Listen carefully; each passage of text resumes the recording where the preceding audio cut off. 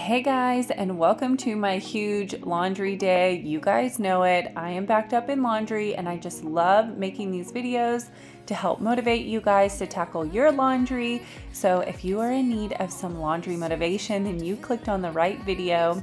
We are starting off by getting all of the dirty clothes around the house. I wanted to pull the sheets off of my son's beds, both of them, because Ethan, my one and a half year old, decided to bring his crackers into his brother's bed. So there were crackers and crumbs and everything in his bed. So we're just gonna go ahead, pull both of their sheets off, wash them, and gather all of the clothes around the house. And then you guys will see how much laundry I had to get done. But if this is your first time watching one of my videos, my name is Ashley and I am a stay-at-home mom to four. I create tons of cleaning motivation as well as some motherhood and lifestyle content. So if that's what you're interested in, I would love for you to hit that red subscribe button and join my YouTube family.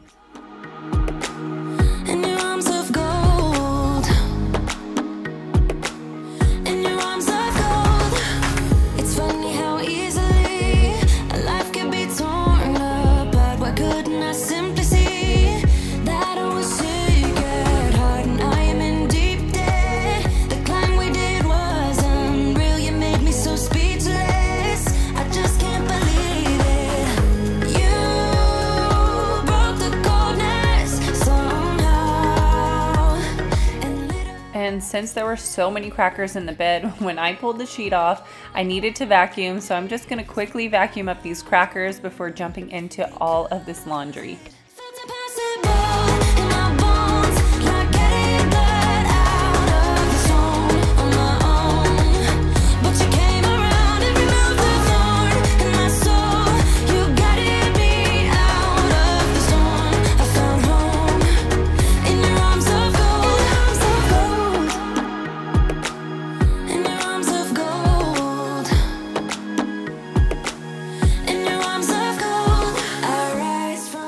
Now this is all of the clothes combined together that I need to get done.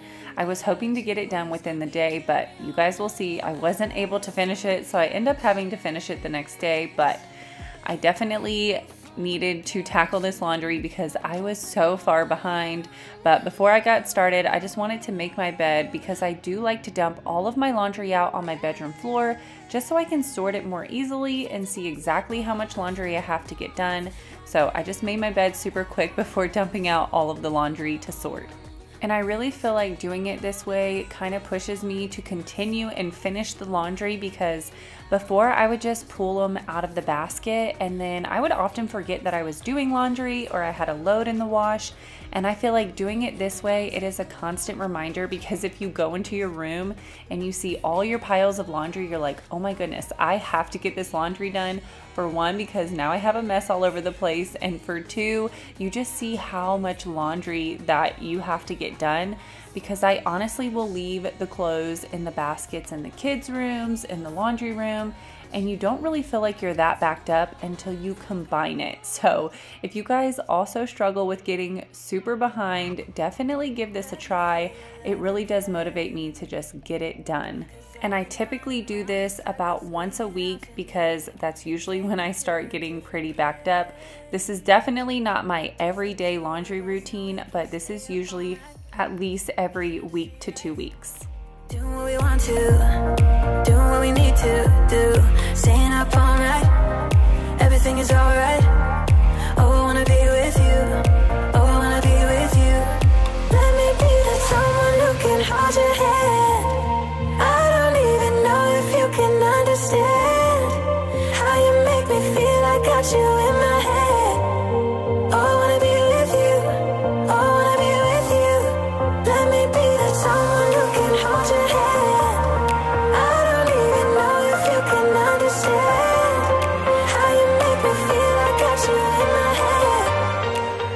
I recently tried out the Persil pods and I love the smell of them, but it was irritating my skin a little bit and I noticed the same thing for my boys. So I went ahead and bought the Tide pods. If you guys watched a previous video, you'll see I bought it in bulk from Sam's Club. So I have a ton of pods, but it comes in like the flimsy bags. So I've just been dumping them into the Persil container, but those are actually Tide Pods. And I am obsessed with Downy fabric beads. I love so many of their scents. Their Refresh Rainforest one is my number one, but this cotton one is definitely my number two. But Downy is my go to for fabric beads.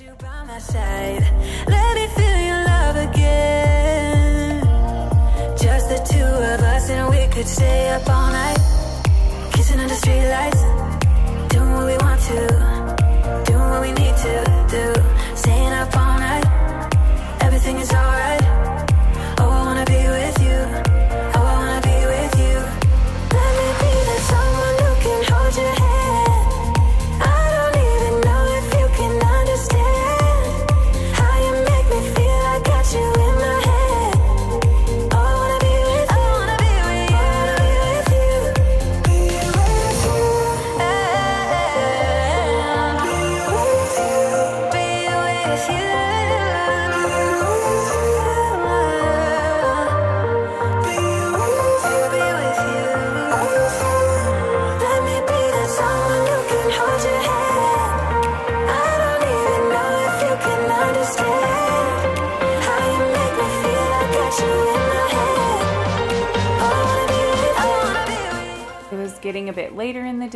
Kids are now out of school, so I thought it was perfect timing to start the blankets because I don't like to start them too late in the day where they don't have enough time to dry.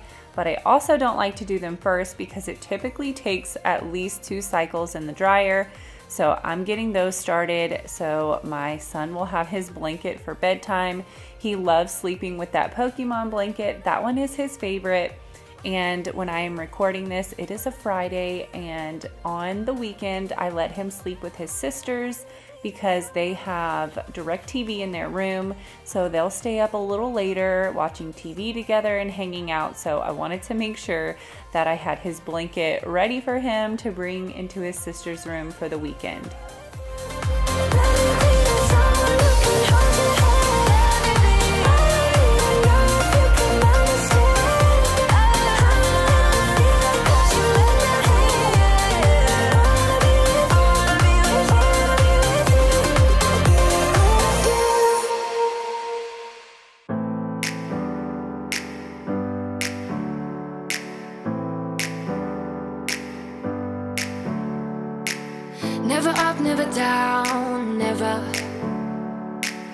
Like a theme in a song, clever. Feeling high, feeling low at the same time. Feels so right, then I'm wrong Hoping I'll be fine. But I get up, I always do. I never think I had to quickly run and get a HEB curbside pickup so I thought I would just share with you guys what I got so I picked up the HEB diapers because we're about to run out and I already made my trip to Sam's, so I just bought some from there. We needed some more bottled water and I use these gallons for my Keurig. Picked up some more bananas. Of course, Ethan already got into them. We got some strawberries. The kids wanted bagels, so I got them some blueberry bagels. My husband's sweet tea. I got him also some of these oatmeal cream pies. These are his favorite snack. Got a huge bag of oranges. I'm making the kids take at least one fruit with them to school, so those are one of their favorite things to pack in their lunches. I'm almost out of garlic powder, so I got some garlic powder. These are our favorite country style gravy for when we do biscuits and gravy. Husband ran out of cologne, so I just went and got him I just got him some of this Axe for now until I can go get some actual cologne.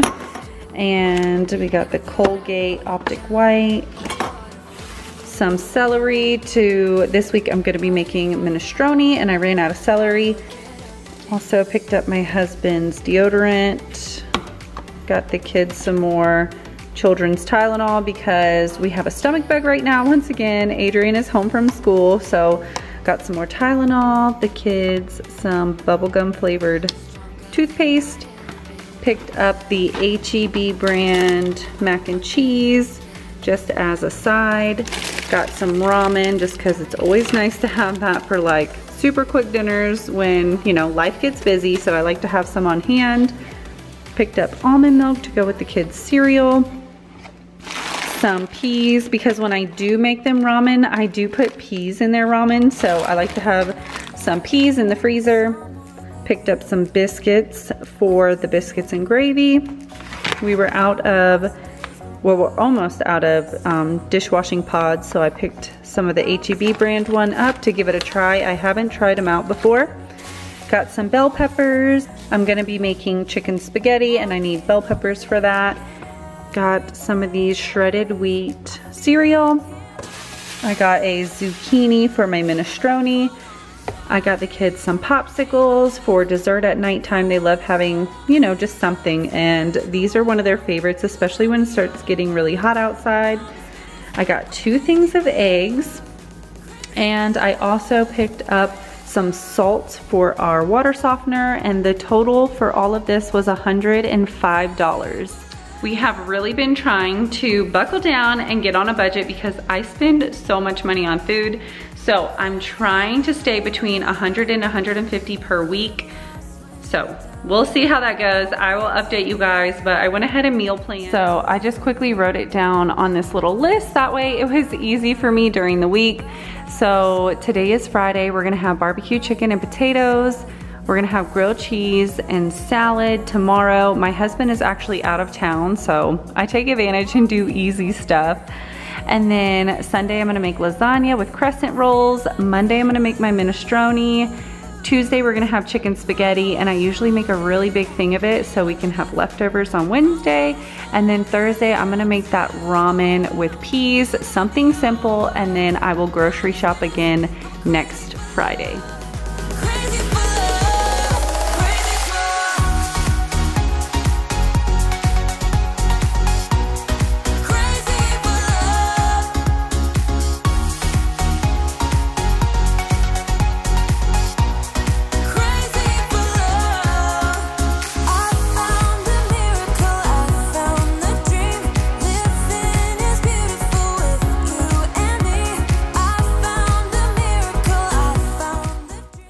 Guys are enjoying this video so far, please don't forget to give it a big thumbs up.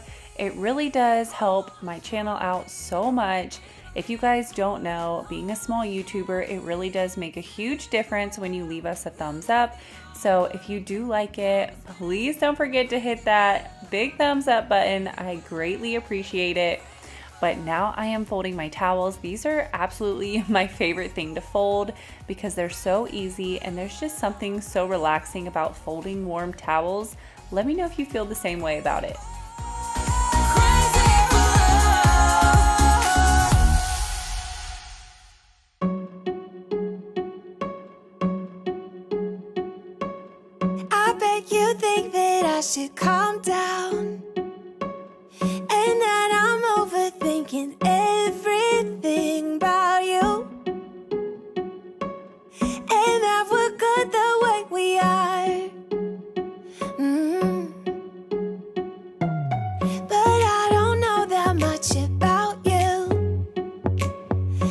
Things you like and what you don't, it's not that long. Since I met you for the first time. Mm. You know we should work it out. You know we should work it out before I'm too invested. So I thought I would share with you guys how to fold a fitted sheet because I feel like they are one thing that everyone seems to struggle with folding. And I struggled for a really long time up until recently. One of my really good friends here on YouTube, her channel name is Brittany Serrato. She had showed us how to fold a fitted sheet and it definitely helped me out so much. Now I know how to do it. So all you have to do is lay your fitted sheet down, take one side where the pockets are, you flip the pockets inside out, and then you're gonna tuck them into the other pockets. That way they fit nice and together, nice and neat, and then you're gonna take the sides where they're a little rough and bumpy and you're gonna try to straighten them out, fold them in to make a nice straight line, and then you fold it in half again. And then whenever you do a bigger sheet, you can fold it three times depending on how big it is. But definitely go rewatch if that didn't make sense. But it's so simple. Once you get it down, you will not believe that you ever struggled folding a fitted sheet. I really hope that helped some of you guys out there because you will not believe for 30 plus years I struggled folding a fitted sheet.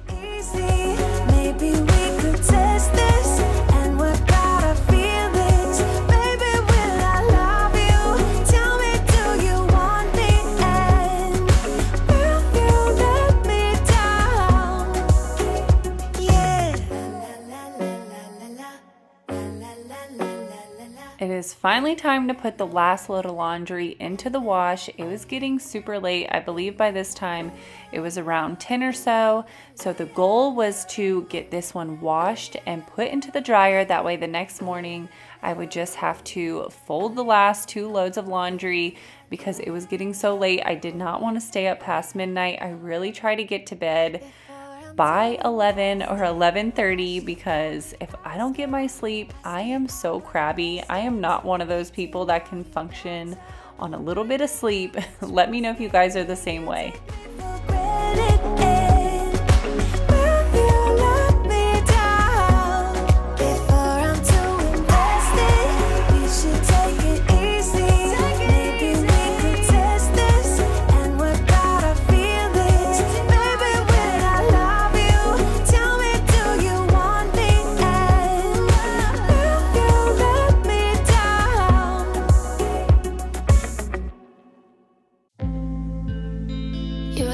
opposite of me.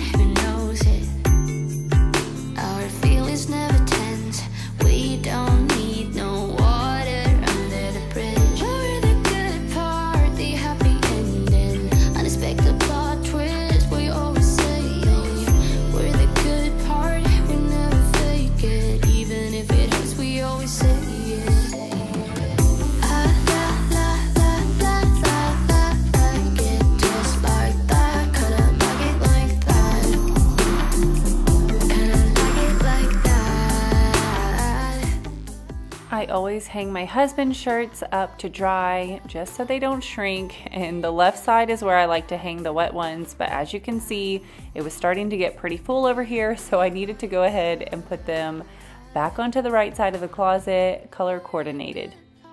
Mm-hmm.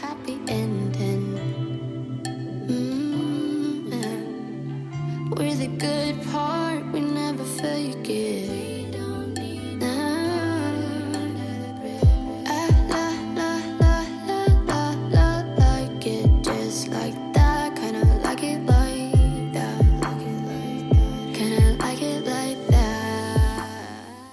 it. Is time to finally get to these last two loads of laundry. These were definitely by far the biggest ones and the most to fold, but it honestly feels so good when you get done with all of your clothes.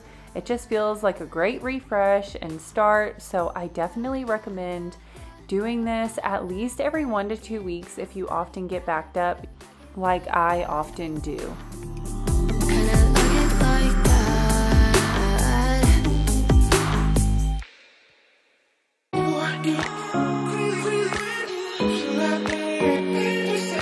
Uh,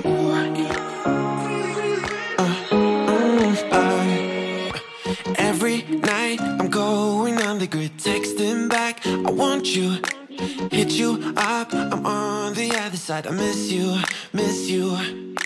Take you off. I came in way too strong, cannot keep it low key. Got me drugged, your pheromones hit the roof. Bottle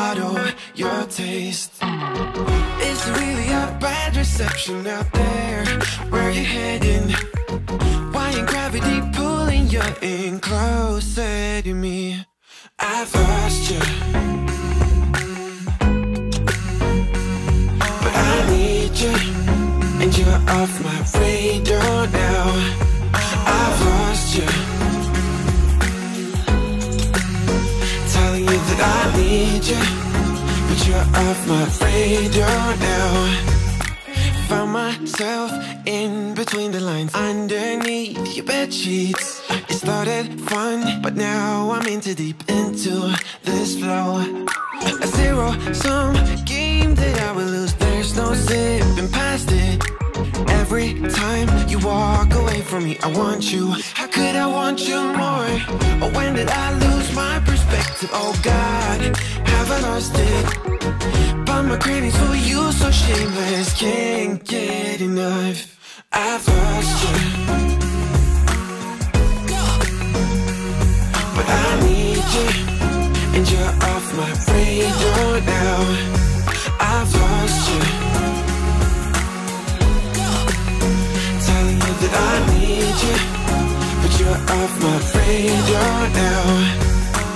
I'm like an outcast from pillar to post. There's no denial, I'm chasing ghosts. I'm like an outcast from pillar to post. Hitting you up, but I'm stuck on hold. It's really a bad reception out there. Where you heading? Now I'm finally putting that sheet back on my son's bed, which it really wasn't a big deal because like I said, on the weekend he sleeps with his sisters. So I really do try to plan it on the weekend because then I know I don't have to stress about getting his sheets done on time and stuff like that. And I have so many backup sheets for Ethan for his crib. I honestly need to get more for us because it really is a pain not having a backup sheet whenever you are washing and you don't know if you're gonna get done on time. Let me know, do y'all have a backup sheet for your bed or no? I really think I want to get one because it really would make my life so much easier.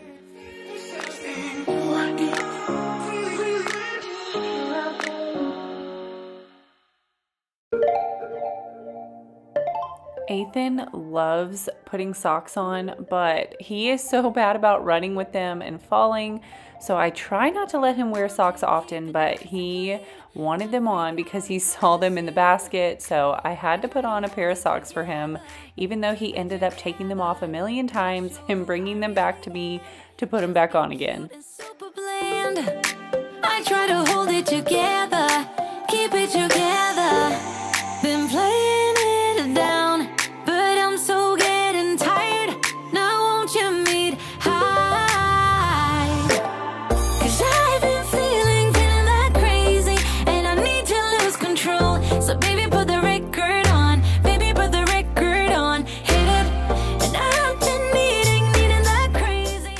Coming to the end of all of this laundry motivation. I really hope you guys enjoyed this. Be sure to give it a big thumbs up if you did. It really does help support my channel and I would love for you to hit that subscribe button and join my YouTube family if you haven't yet. I do upload at least two to three videos weekly, bringing all of the cleaning motivation and motherhood content. So I would love to have you a part of my YouTube family. But I hope you guys have a wonderful day and I can't wait to see you in the next one. Bye!